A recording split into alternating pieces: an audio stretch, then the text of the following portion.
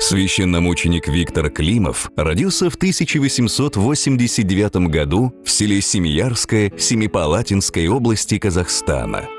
Происходил из благополучной и культурной семьи станционного смотрителя. По окончании Томской духовной семинарии Виктор Степанович работал учителем словесности в мужской гимназии Семипалатинска.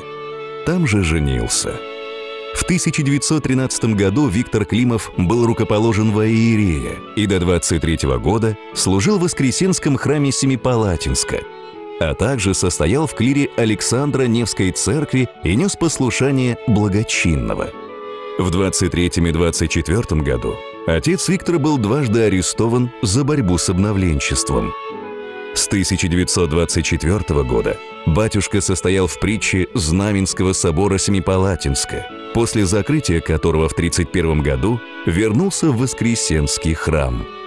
17 ноября 1937 года отец Виктора был арестован и обвинен в активной контрреволюционной деятельности, распространении клеветнических слухов о мероприятиях советского правительства и шпионаже.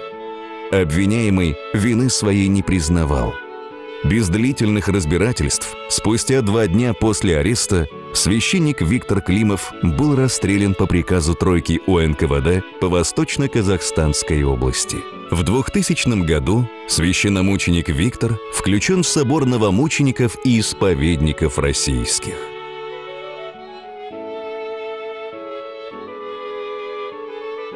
Двадцать второе ноября. День памяти священномученика Виктора Климова, пресвитера.